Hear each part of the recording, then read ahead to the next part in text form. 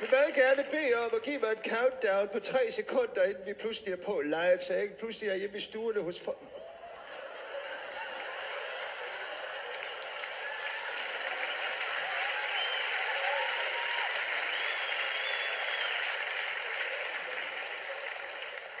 Øh, jeg står her midt i Cirkusrevyen, som har været så frygtelig meget igennem de seneste år.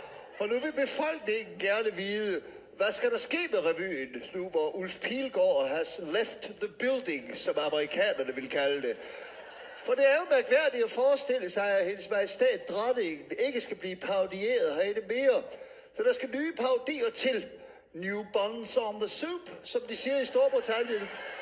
Eller som franskmændene kalder det, nouveau bonbon à la bouillabaisse.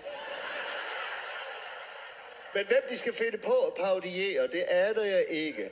Så det skal blive spændende at se. Jeg ved ikke, om I har bemærket det, men jeg har taget et tørklæde på. Jeg er nemlig gået hen og blevet lidt småsløje. Jeg kommer lige direkte fra Cannes og havde kun en let sommerjakke med. Eller som de siger dernede, en jacket sommelier. Jeg skulle til pressemøde i kongehuset, og der blev jeg placeret mellem dronningen og prins Joachim. Og der var så kold luft imellem dem, at...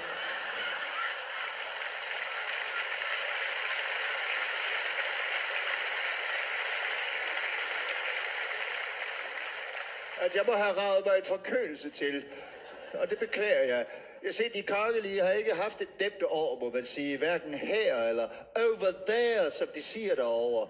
Men nu fik kong Charles så endelig sin krone, og der skulle ham knægten herhjemme, ham der ikke har en krone, øh, prins Joachim, han skulle have spurgt sin mor til rådes. Hvorledes skal jeg klare mig i Washington udelukkende med min apanage? Og dertil svarede vores allesammens hjerter dronning kort og præcist. Spar, knægt, spar.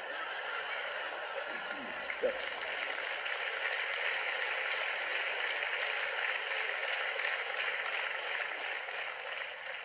The Knight of Spades, som britterne kalder ham.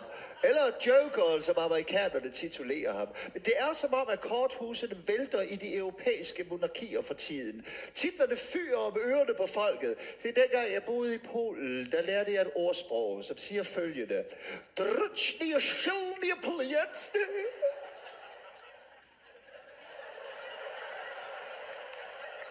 Ja, undskyld, jeg bliver altid meget bevæget, når jeg taler om Polen. I hvert fald har hendes majestæt dronningen måtte lægge sig fladt ned med rygsiden opad. Hun er blevet opereret i ryggen og har nu fået et endnu stærkere ryggrad. Hun står nu endnu mere fast ved sine beslutninger. Altså, det bliver spændende at se, hvem der ryger næste gang.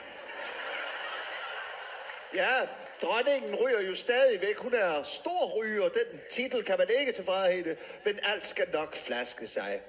Og apropos flasker, så mødte jeg tilfældigvis Boris Johnson i lufthavnen i Athen. Ja, han genkendte mig, fordi vi bruger samme frisør i London.